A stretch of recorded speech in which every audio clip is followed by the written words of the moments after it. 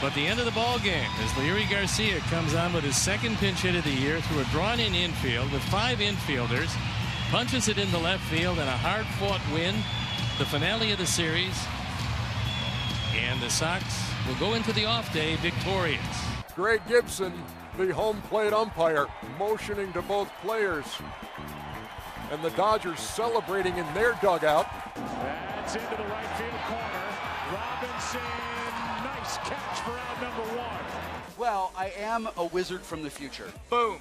I'm a real doctor. You had your walk-up music created.